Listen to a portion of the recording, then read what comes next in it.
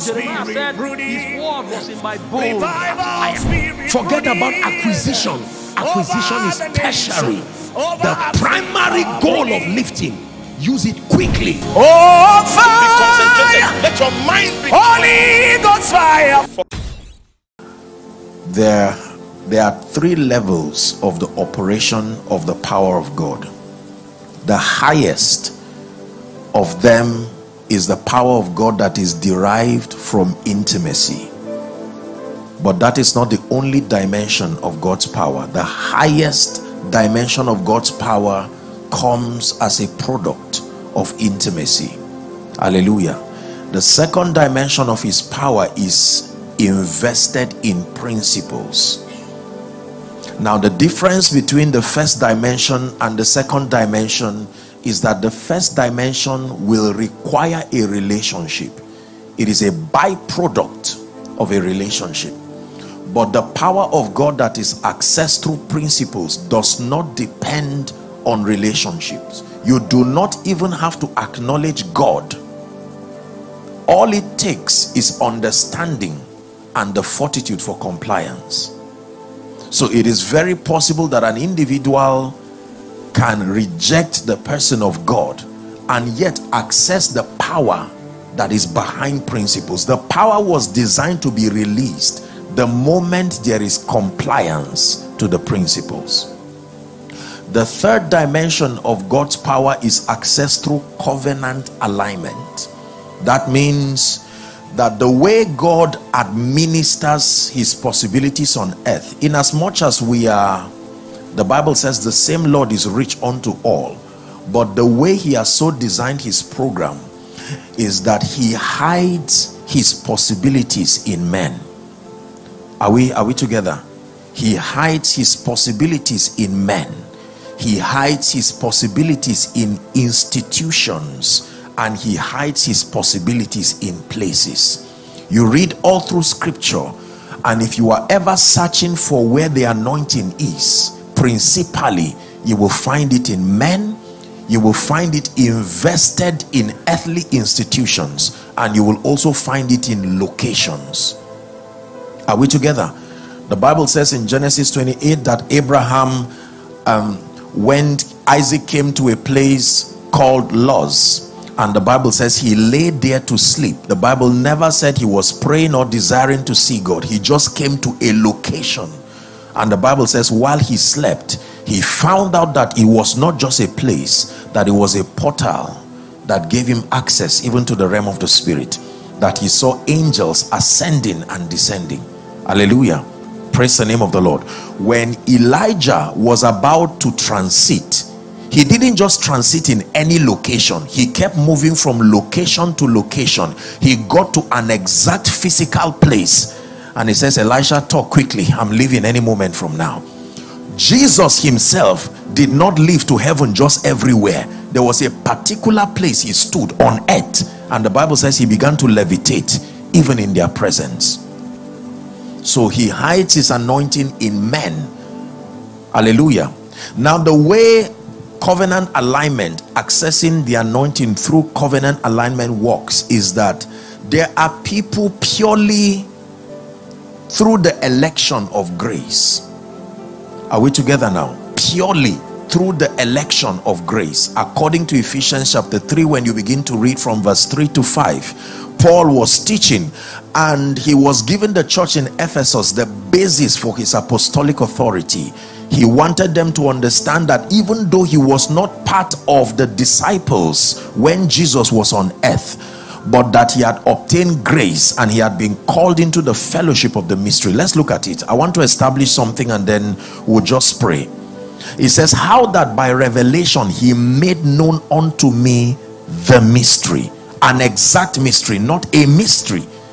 He made known unto me by revelation the mystery as I, I wrote afore in few words, verse 4. It says, Whereby when ye read, ye may understand my knowledge in the mystery of Christ. 5. It says, Which in other ages was not made known. Do you know what this means? It means there were people who tried sincerely They prayed, they fasted, they tried to access those truths, but it was archived and kept for a certain age. So it was not about their inability to press. They did their best, but it says that these mysteries were closed and were kept for a particular age. It says, in other ages was not made known unto the sons of men as it is now revealed unto his holy apostles and prophets. How? By the Spirit. And the purpose for that is found in verse 9 and 10. Why did God keep this and now reveal to us? Verse 9 and 10 says, To make all men see. It is part of that grace combination that was given. There is a grace that can make all men see. Do you know what that means? Regardless the limitation of those men, educationally, intellectually, when they come under that grace, it can make them see. What is the fellowship of the mystery which from the beginning of the world had been hid in God who created all things in Jesus Christ? Let's read verse 10 together. Ready? One, two, read. It says to the intent. That means this was, hold on. Everything that Paul is saying, he says for this purpose. This is why he beckoned on us to come into this ministry of apostleship to the intent that now unto principalities and powers in heavenly places might be known by the church the multifaceted or manifold wisdom of God. So God hides these possibilities in men. But according to Isaiah 9 and verse 6, every time he sends a word to Jacob, the intention is that it lightens upon Israel. Are we together? He never sent Isaiah 9, is it? Please look for it for me. He sent a word to Jacob, it lightened upon Israel. Now, do you know the meaning of that? If God wants to speak to everybody, he spoke about the voice of God, but I need you to understand how the administration comes because when Samuel had God, he had it in the voice I mean, when uh, Samuel had God, he had it in the voice of Eli. He did not hear a loud thunder. When God called Samuel, Samuel ran to Eli and said, Did you call me? He went back again and God called him, and, and Samuel said, I know what is happening. The next time he speaks, it is through my voice, the semblance of my voice, but I know the one speaking. Tell him, Speak, Lord. Because you will hear something that I cannot tell you, even though it is my voice. Are we together now? Yes. This is very powerful. What happens is that God would call a man, and through the sacrifice of covenant alignment, God will lead that man through a unique path in the spirit. Listen carefully.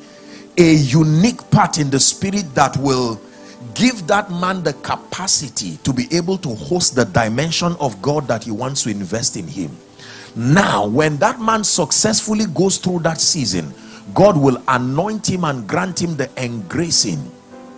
And the reward of that man for staying with God is that anyone within that dispensation who wants to access that dimension of God will never do it in dishonor to that vessel. That is your own reward for staying with God. That means God will never bypass you to communicate that dimension across that for as long as you are alive. So, for instance, when you talk today about the ministry of faith, choose any man of God on earth that you want to, it will still end in Copeland. You listen to Kenneth Copeland, and he may be very simple and basic but you will be surprised. Ignore his ministry and downplay him through dishonor. You will be surprised that as yielded you are in as in the spirit you will never access certain levels of faith. Until you recognize that ministry as being a conduit that is the conduit that god set up to administer his dimension of faith. When kenneth copeland dies god will raise another man again. Are we together now This is very powerful. The ministry of healing. Choose any man of God you know that works in the healing ministry. You will keep routing it, it will get back to Benny Hinn standing today. You will never truly walk in the healing anointing, ignoring the presence of that ministry. Are you getting what I'm telling you now? I'm just teaching you how the three layers of God's anointing that you can have that anointing through encounters, through the manifestation of principles and covenant alignment to people who have that anointing based on covenants. That is the reason why you can come under the influence of a man who has that covenant with God. And even before you understand the dynamics of that grace, it will be working in your life. Did you ever read in the Bible that a prophet said God opened the eyes of another person? Do you know what it takes for your eyes to be open? Normally, if you are to go through the routine and the discipline that will lead to the open eyes, it is not just one pronouncement, but that under a certain influence, there are things that can happen. Praise the name of the Lord. You won't believe that this all this is just to explain something that I started